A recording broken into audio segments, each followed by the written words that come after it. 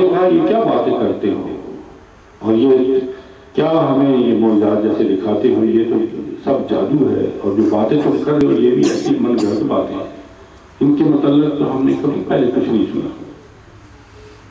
तो मूसा ने कहा कि अल्लाह ताला खुद जानता है कि मैं उसकी तरफ़ से हदायत लेकर आया और अल्लाह ताला अपने बंदों को भी जानता है और जिनको निजात देता उनको जानता है। और सुन लो कान खोल करके कि जालमों को अल्लाह ताला निजात नहीं देगा। इस पर फिर उसने अपने सरदारों को कहा फरमा कि, देखो, मुझे तो कोई और महबूद अपने बगैर दिखाई नहीं देता। और ये कैसी बातें करता है? मुझे तो ये झूठा मालूम आता है। तो इस तरह करो कि एक मिट्टी की ईंटें आग जलाकर पकाओ, उनसे एक महल बनाओ उस पर जाकर देखूँगा वो कौन सा खुदा है जिसकी ये बातें करता है। इस तरह उसने तकबर किया, अल्लाह ताला फरमाता है। और उसके सरदारों ने फौजों ने भी तकबर किया, इस दुनिया में, अल्लाह की दुनिया में रहते हुए। और ना हक बात की। और ये ख्याल करते थे कि उन्होंने हमारे साथ पर नहीं लगाना हमारे साथ नहीं मिलना। तो अल्लाह ताला फरमाता है, हमने आखिर अंजाम के तौर पर उसको भी और उसके सारे पकड़ समुद्र में गर्क कर दिया। और फरमाया, ये सारे जहन्नम में गए, निशानियाँ बनकर और दूसरों को भी अपनी तरफ़ आग की तरफ़ बुलाते थे और वहाँ इनकी कोई मदद नहीं। और इन पर दुनिया में भी लानत हुई और आखिरत में भी लानत यहाँ तक तो ये फरमान इलाही आज आपको सुनाया गया इसके बाद दूसरा सब बाद में सुनाया जाएगा। लेकिन जिस तरह मैं आपको पहले से बताता चला रहा हूँ फरमान इलाही में हदायतें थी इसमें भी हमारे लिए बहुत सी हदायतें रखी गई हैं। पहली हदायत तो ये हुई कि अल्लाह ताला ने फरमाया कि जिस जगह अल्लाह का नूर आया, जिसका जलवा ज़ाहिर हुआ, वो जगह मुबारक है तो गोया पुरानी हुक्म से ये साबित हो गया कि जहाँ भी अल्लाह की याद होती है, वो जगह मुबारक है। वो काबिल तज़ीम वो काबिल इकराम होती है हर चीज़ के लिए। दूसरा ये हुक्म जो है, ये हदायत हमारे साबित हो कि जिसको नस्बत रसूल ही हासिल न हो रसूल की महरूमी से तो उसका दिमाग काम नहीं करता ख्वाह कितना ही आलम फाजल कितना ही ऊँचा जिस तरह फिरौन और उसकी सारे सरदार कि वो मिट्टी के ईटों से महल बनाकर आसमान तक पहुँच निकल जो इंतहाई हमाकत और बेवकूफ़ी की बात है। और उन्हें यह ख्याल ना है कि मिट्टी का महल आसमान तक किस तरह पहुँच सकता है। ये सिर्फ़ ज़रूरत में डूबे अकल का नतीजा है।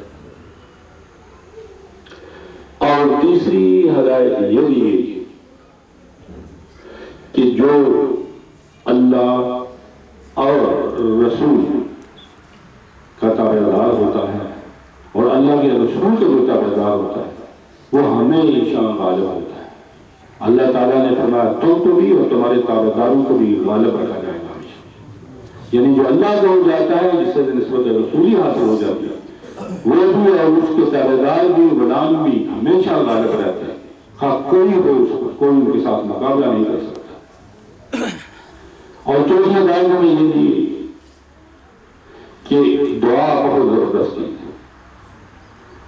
एक ऐसी चीज़ है जो किसी तरह नहीं मिल सकती स्वाय अल्लाह की मर्ज़ी के अजब से जिसे अल्लाह ने रसूल बनाया हुआ है। ना ये इबादत से आदमी हासिल कर सकता है, तकवे से, या किसी और मेहनत से, किसी और, किसी तकलीफ़ से नहीं हासिल कर सकता।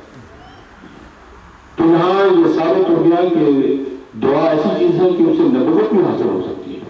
कि मूसा ने दुआ की अपने भाई के लिए आदम के लिए तुम्हें नबूवत भी हासिल हो तो रसूल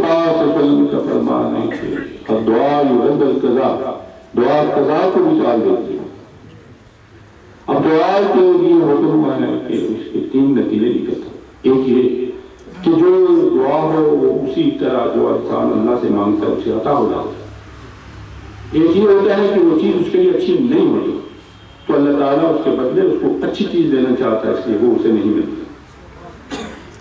और तीसरी ये बात कि उस आखिरत के लिए कोई तोशा नहीं होता।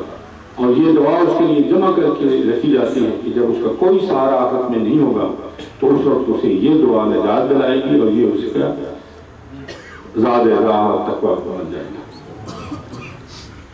तो गोया ये तालीम दी गई कि अल्लाह के रसूल से इताद जो है। ये दोनों जहान में सुरगुई सफाजी का सबब और ज़रिया है।